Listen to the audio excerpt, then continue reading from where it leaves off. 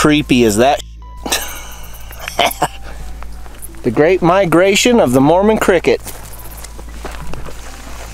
Kind of concerns a sportsman, makes you wonder if uh, if it's hurting the deer. I mean, you stop for five seconds, they're crawling up your leg, biting your boots, and that you know they're they're eating their.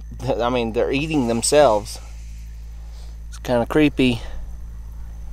We got some more footage that's gonna just creep your skin out big time. We're almost over the hill to the creek.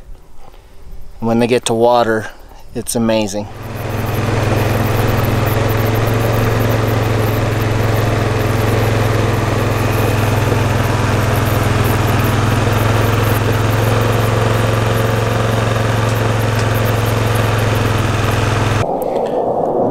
Well, we're here on a, one of the last snow drifts. You can hear the military jets flying over us. It seems like it's a something that happens every time I want to talk on video.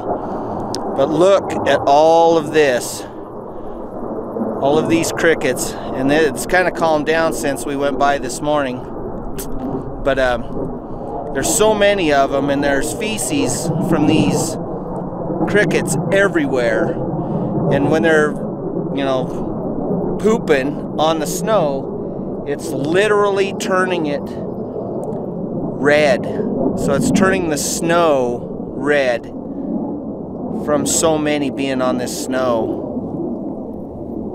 It's creepy. If you've never been in the middle of a migration of the Mormon crickets, it just is, it's kind of disgusting. Uh, they leave you alone for the most part, but seeing that I'm a taxidermist and I do a lot of tanning and I get salt and you know the smell of taxidermy on my boots i stand still for five seconds and they're they're trying to bite my boots off so.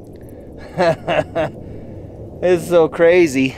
Uh, this is the most i've ever seen.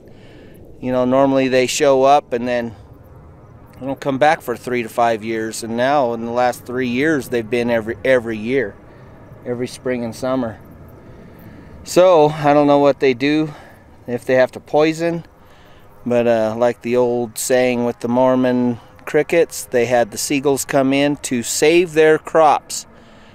I don't see any seagulls in South Idaho. We still got to take you to the really creepy place. That's coming up next. Stay with us. Hopefully we don't get eaten. Here's the creek crossing. And there's any kind of water. You don't want to touch the bushes because they'll fall off onto you. And here's a great shot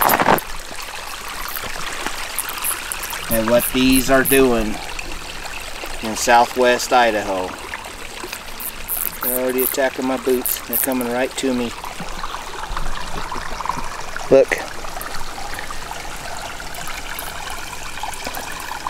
If I don't watch them, it will literally start chewing on my boots. But this is, I would say millions, billions, trillions of crickets. And they're migrating almost a hundred miles to wherever the hell they're going. Grab them. There you go.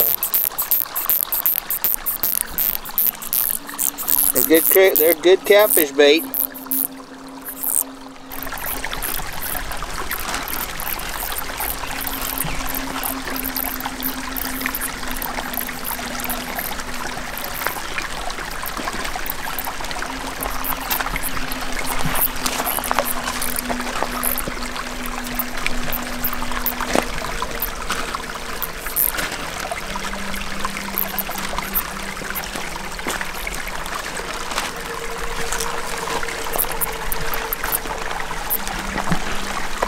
Easy pickings.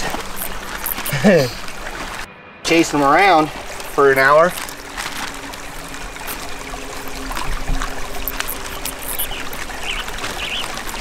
Even when they come out, they're too cold to move.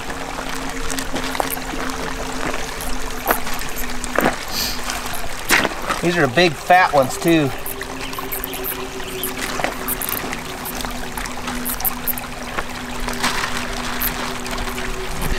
Well, only after about 10 minutes with these crickets in the creek, I have a full bag of crickets. Go do some catfishing hopefully this week and maybe uh, I'll do an episode of catfishing down on the Snake River here in Idaho for you. Maybe uh, even a little, uh, it'd be our first catch and cook and the bait we used. Stay with us, High Country Carnage. Like I said, like and subscribe. 2019 is gonna look like it's looking like it's gonna be a good good season for us hunting. Uh, a couple of our guys have drawn uh, good early season archery tags for antelope. So, High Country Carnage. Stay with us.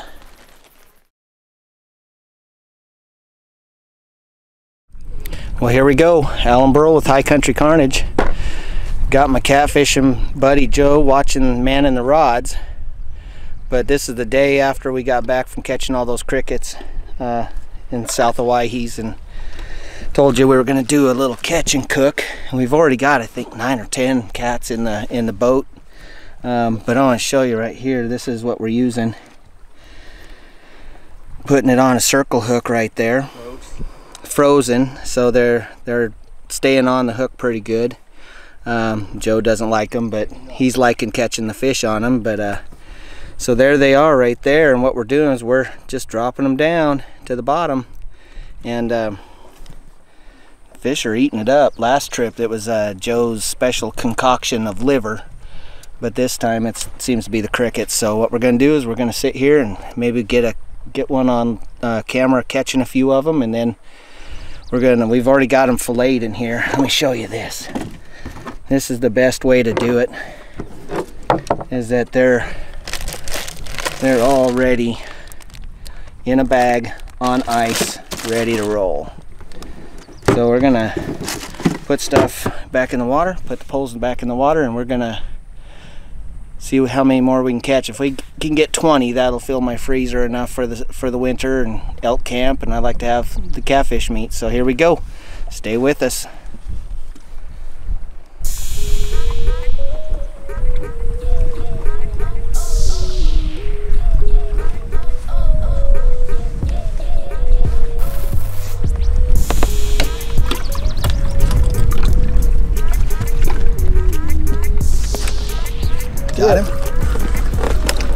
Yeah, there we go, baby.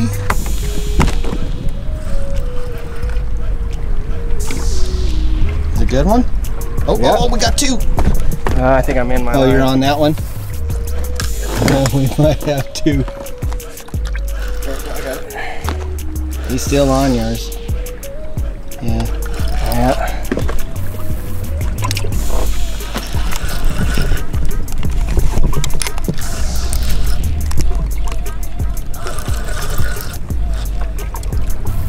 When I need to get the net.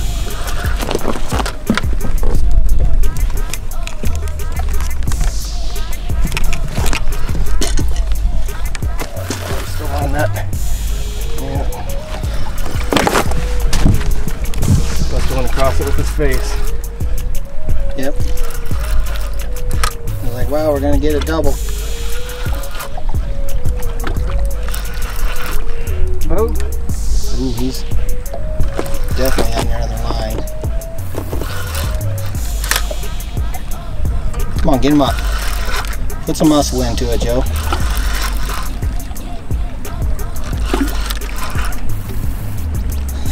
oh yeah.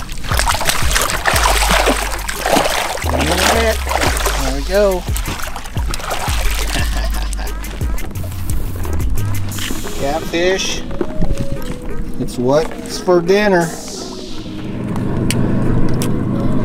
Well, we were putting Joe's away. Might have caught it on camera actually. This rod going down when we were videoing Joe. And this is a toad. He does not want to come up off the bottom. Sometimes we're getting two at a time.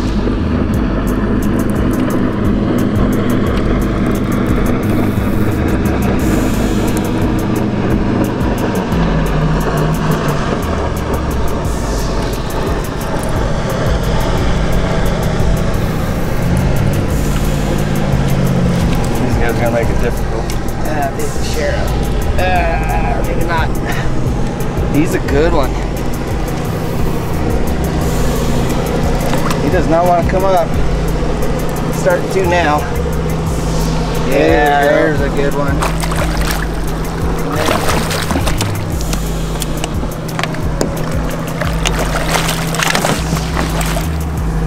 Sweet, I got him. There you go. Oh, got the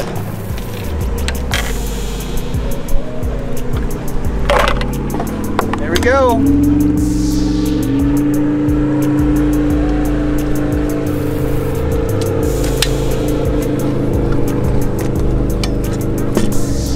A good catfish. Probably eight, eight pounds, seven, eight pounds. High Country Carnage, filling the freezer with meat. There we go, baby. Let's catch another one. Well, we've been catching the crap out of these catfish. So now it's time to get our third big bag of fillets. And we got, I think we got seven or eight in the in the live well. So I'm gonna show you how to how I fillet these catfish. So what I do is I start at the back of the dorsal. Are you down here on the fish? You start at the back of the dorsal and you make a line to the anal fin there, and then you just Go right down that spine, flip it over, and fillet off, just like that. And then you do the other side. Just like that. And just like that. And that way you've got fresh clean fillets to put in the cooler in a bag and they're already done by the time you get home. And we got a fish on Joe's pole right there. Okay, next thing we're gonna do is we're gonna cook these fillets for you. Well, that was a good day catfishing. It was way worth uh, getting those crickets last weekend. Still got a ton left, but we did pretty good. Doing a double check, walk around on the boat, make sure everything's good, locked down. And now let's go home and cook some catfish for you. A little catch and cook. And it's uh, kind of a cool way to do your catfish to where it doesn't have any catfish smell or taste. So stay with us. We're going to be cooking right here, right next. Let's go. Well, here we go, guys. Where it's been a couple days since we've been back from that awesome catfish trip. And uh, I said I was going to do a little catch and cook uh, segment. And I'm going to show you how to do it right now. I'm to set a few things out and then we're going to get started on uh, making some awesome, delicious catfish. Well, what we have here is called the Big Boss Heated Air Cooker. And you can see that it does quite a few things on there that uh, and temperature timer gauge and it's got this big glass bin to put it in and you can see there's a little uh, cart thing down there that the fish will go down in onto and uh, let's get started with uh, seasoning the catfish. So now that I've got the tray out, what I want to do is I want to take a piece of tin foil I'm just going to shape it down into the bottom of this little screen tray and just wrap around the bottom here, around the sides. Then I want to take some uh, no stick spray, just for good measure, layer the bottom. And what we have is three really good fillets of catfish. And what I do is I'll lay them in opposites of each other. So two fairly nice ones and then, you know, a little extra for a half there. So what we have here is good old-fashioned soy sauce. You can get this at any store. This is just happened to be the Great Value brand. A little bit in there. And what I like to do is I like to dab some on there. Don't get real heavy with it or it'll be too salty. So the one of the first seasonings I like to put on there is some Lawry's seasoned salt. And very light dusting of that on there.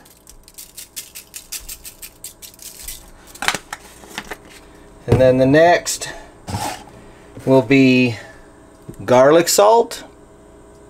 Get that anywhere, doesn't matter what type you get. But just another good little sprinkle coverage on there. I like my garlic salt. And then the magical Grill Masters Montreal, this is steak, steak seasoning. You can use, they have some fish and stuff. Uh, and uh, But I, the Montreal steak seasoning kind of pretty much goes with anything fish or wild game. So we tend to go through quite a bit of this. And then I put a, a really good dusting.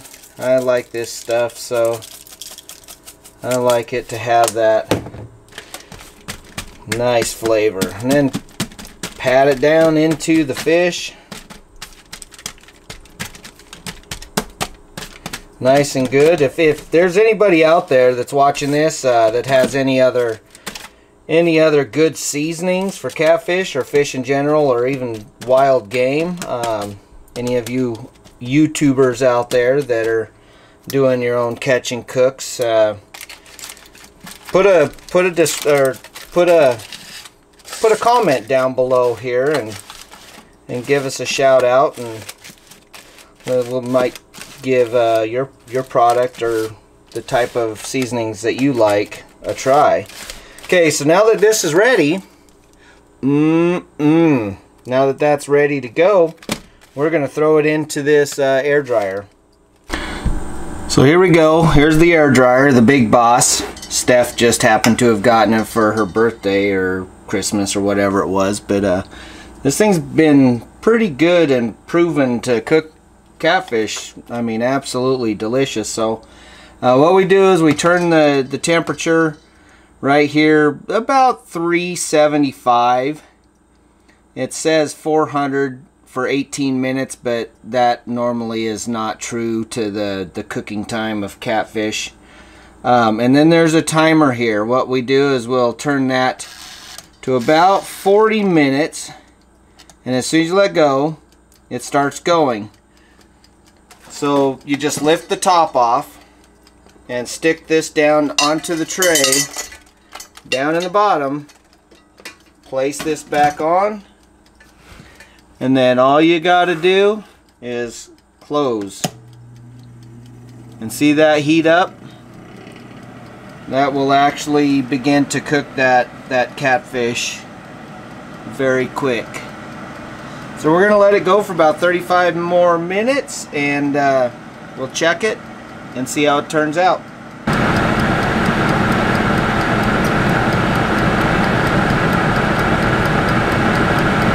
can already smell the yummy goodness of these catfish. They're gonna taste so good. Okay, we got about seven, eight minutes left on this fish. And you can see down in there. Let's see if I can't get a... You can see it's boiling in there, nice and yummy.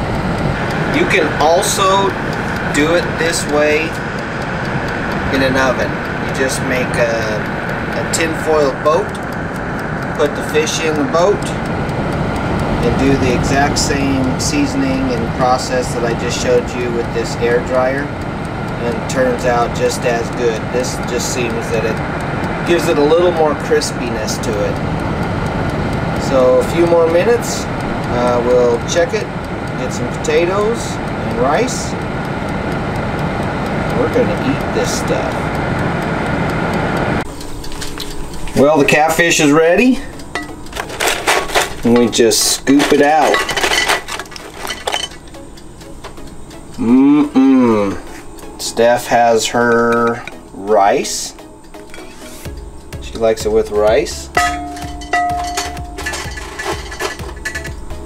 And I am going to have potato. Well, there we go. I got my potatoes ready.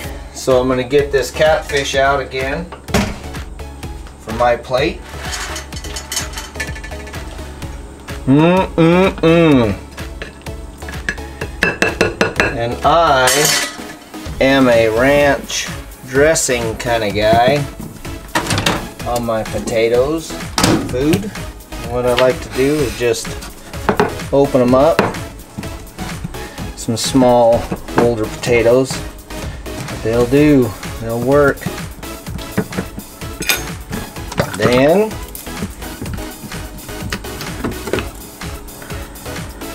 a little bit of ranch. That will complete my dinner for the night. So like I said, if anybody has any ideas of other seasonings that they use for catfish, or YouTubers that make their own, they want us to give it a try, uh, message us on our Facebook page, High Country Carnage, or even message us down below on the comments on our page or on our post. So this is it. Circle of life. We catch the crickets, the crickets catch the catfish, so we can eat the catfish. Yeah. Like and subscribe.